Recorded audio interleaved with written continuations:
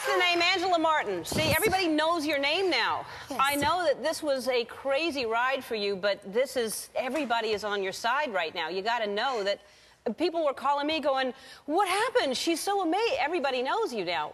But so, so you're walking down that long walk, and what happens? I was preparing myself to be strong, you know, and talk to you guys. But then I saw the pictures of my daughter, and I just felt fell apart. Yeah. And I'm like, I failed. How am I going to tell her? Mommy didn't make it. Right. It was it was heartbreaking. So, so, and it was your last year to, to you can't come back next year because you're 28. There's a there's an age limit. It was your third time. The first time you auditioned. Uh, this is it, it- tell people what happened the first time you auditioned. The first time I auditioned, my dad was killed um, by his girlfriend of 16 years, my stepmom. Mm-hmm.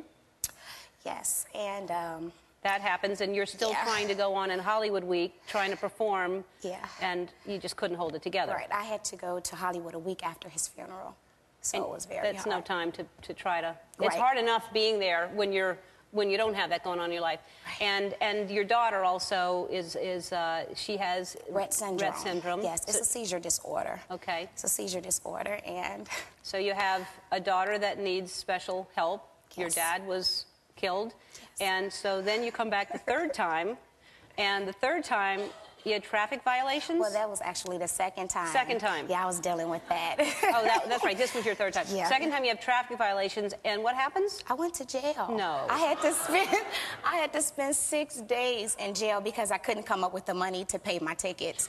So being in that cell and watching American Idol on the TV in jail, and I'm just ho- I'm like I hope people don't know who I am in here because they showed me while I was in jail. Really? And I just put my head down every time because I couldn't tell. I was scared, you know. Yeah. And I couldn't tell them I don't want to watch it, so I just kind of. Right. You can't really point to everybody in, in jail going, that's me. Right. Um, so, all right. So then, this was your third time thinking, mm-hmm. okay, I gotta, I got it made this time. Yeah. And of all years, it is just like a, it's, it's a crazy group of people. And as Simon kept saying, it's just, you know, I don't know. It's my first year. It's really hard for me, but there's a Mm-hmm. strong group of people, and it was a, a hard year.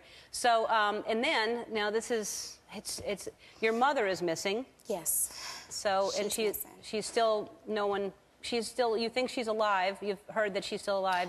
Yes, um, America's Most Wanted called the detectives that's mm-hmm. on the case, and the detectives called my older sister. Okay. and said that they found her on 55th and Halsted on the south side of Chicago. So we ran out looking for her. Right. And a guy at a liquor store said, "You just missed her three hours ago."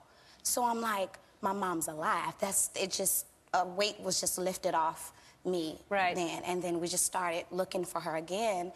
And, you know, we just keep looking. Well, well, hopefully she's going to turn up because, uh, and, I- and I got to say uh, that that you have had your share of really bad luck and, and some sad things happening in your life, but your attitude is so amazing because you keep getting back up, Yeah. and and you represent something to a lot of people out there.